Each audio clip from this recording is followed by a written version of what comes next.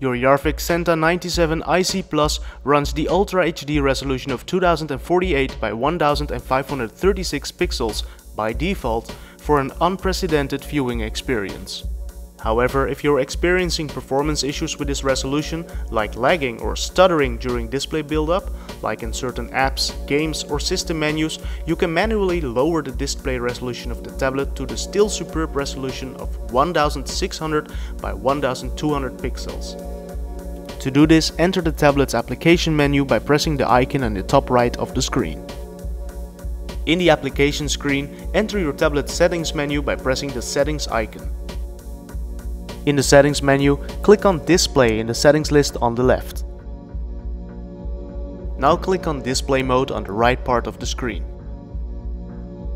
You will now be asked to select the display mode or display resolution, with normal being 1600 by 1200 pixels and HD the default 2048 by 1536 pixels. Click on normal. Tablet now needs to reboot in order to apply the resolution change. Click OK to let the tablet reboot.